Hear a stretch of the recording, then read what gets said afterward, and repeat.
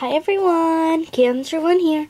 I'd just like to tell you, um, I made this series, I mean, this is a series I'm making, and, um, well, it's like this little girl, Tilly, when she was really young, she lost her mom, because her mom, like, accidentally drank a potion and then she died, so, anyway, let's just get on to the video.